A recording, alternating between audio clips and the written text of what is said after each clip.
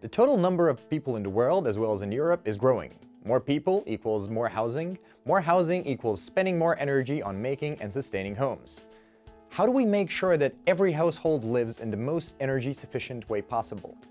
For older homes, we double the renovation and insulation rate. But for new buildings, we build smart homes. We have seen a quantum leap in building technologies. We can now build homes that are self-sustainable, at least in part. A passive house can be heated with a candle. A roof, which is also a solar panel, a lawn which hides a thermal pump underneath, a small network of pipelines, which is a ventilation system, a small panel on the wall which controls your cleaning robot, fridge, blinds through the Internet of Things. These are just some of the technologies that make your home a smart home.